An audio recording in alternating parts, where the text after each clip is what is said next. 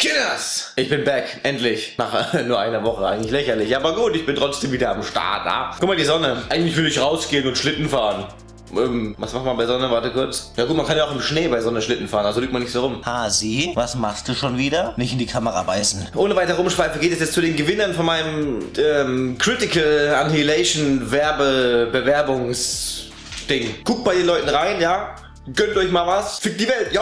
So Kinder, unser erster Kandidat ist Lukid Lukas 2. Er wollte nicht, dass man sein, äh, seine, sein Video verwendet, also seine ersten 10 Sekunden, da er eben einfach nur ein 20 Sekunden Video gemacht hat und darauf, also da eben nichts gemacht hat, nichts vorbereitet hat. Und er mir extra geschrieben hat, dass ich es eben nicht verwenden soll. Er hat 1774 Punkte erreicht.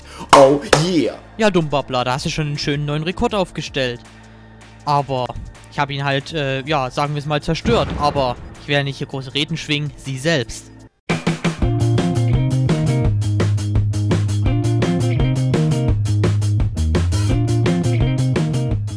Hallo und ein Danke an alle, die mich schauen. Dieses Video wieder für Jan der Dummbabler. Vielen Dank, Jan, an dich, dass du sowas machst und das ist auch richtig cool von dir und ähm, mach weiter so und viel Spaß bei diesem kleinen Zusammenschnitt. Well, you can see it. Uh, bye bye. Guys. Hallo und herzlich willkommen, liebe Freunde. Mein Name ist Zane und ich habe den Dummbabbler so richtig zerdödelt.